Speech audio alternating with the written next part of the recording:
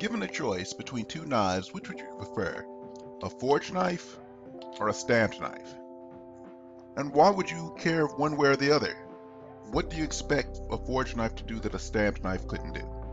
Well, in this video, we're going to go over that. We're going to try and understand exactly what is metal forging, how it's done, as well as what the benefits are.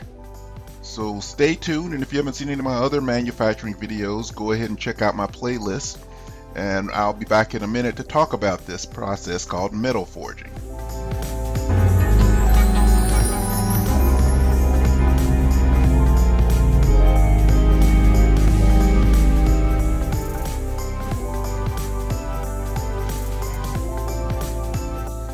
Hi, this is Professor Cummings.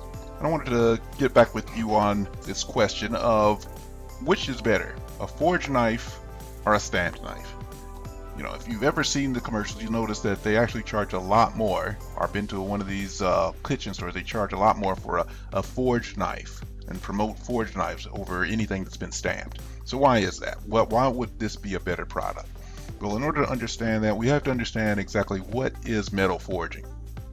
All metal forging is is a type of, of forming process, metal forming process. It falls under the umbrella of things like cold rolling and hot rolling. It, so it's actually taking the metal, you're not cutting any material away, and you're just forming it into the shape that you want. It's actually the oldest recorded metalworking process. It's older than machining, older than you know grinding or any of the other processes that you have. So it dates back 4000 BC. And you can see this in things like uh, blacksmiths, short horseshoes, swords, shields, helmets, armor. You know, all these things were forged uh, back centuries or millennia ago. It, all it does is uses compressive forces to actually shape the metal. That's why you see in movies or in the image above where there's a hammer or some sort of a die on top and a lower die beating the metal into shape. So that's all it does is using compressive forces to actually shape the metal. So what actually is going on with metal? So to understand metal itself, you actually understand metal is actually a structure made up of a series of grains. So the, all these grains come together and they form a metal shape. So this picture you see before you is bismuth. Bismuth, if you take it to a molten state, actually take heat it up till it's a liquid form. It becomes liquid at about 600 degrees or so Fahrenheit, and you allow it to cool down you'll end up with these really pretty uh, structures of grains of crystals or uh, grains that come out in this rainbow form. Now, what it does is it goes through an evolution from this metal all the way to its a solid. And all metals do this. Now, that's what bismuth looks like. Over here on the right, you have steel. So if you heat steel up to the molten state and allow it to cool down, you'll actually start to form these crystals.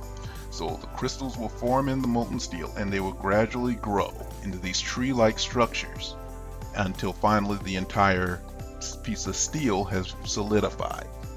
Now, if these little crystals look familiar to you, they should, because they look a lot like this. This is snow crystals up at the upper top, or upper right.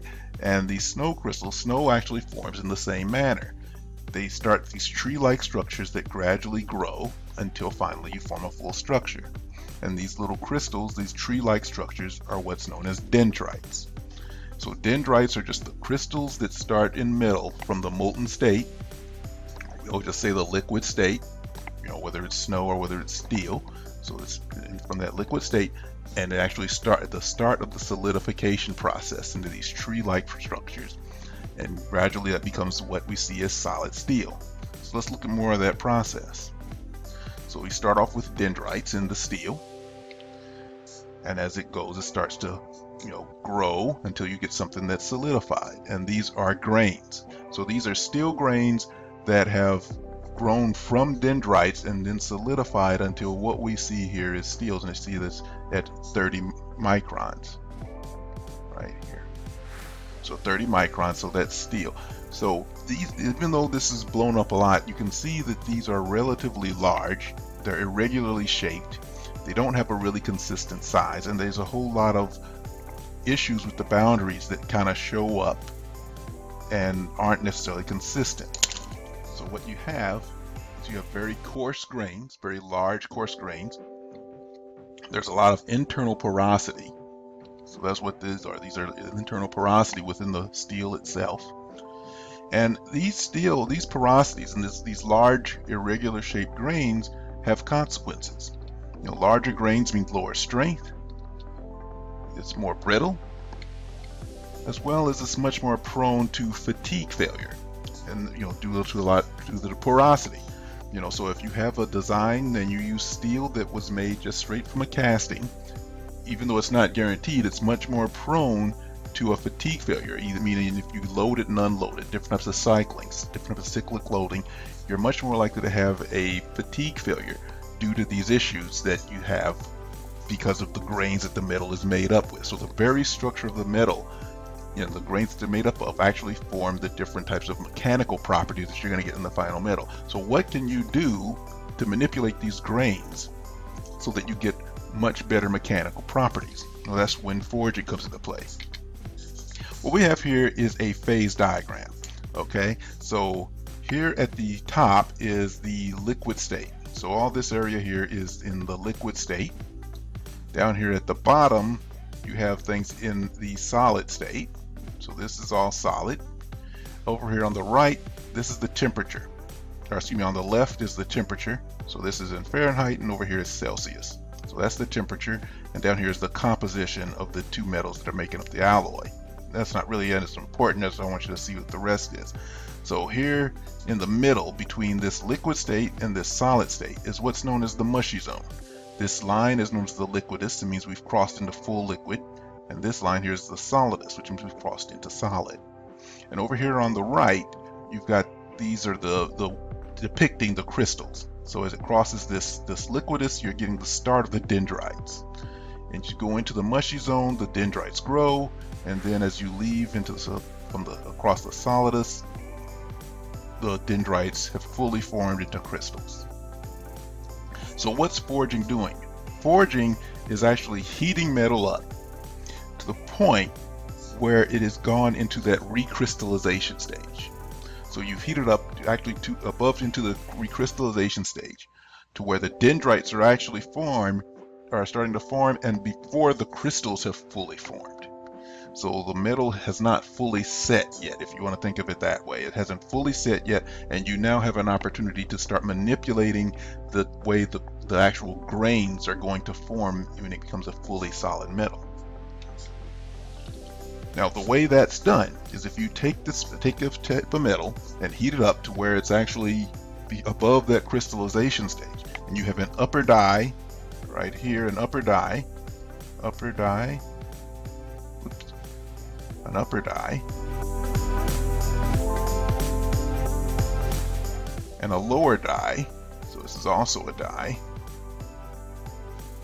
So we just say lower die.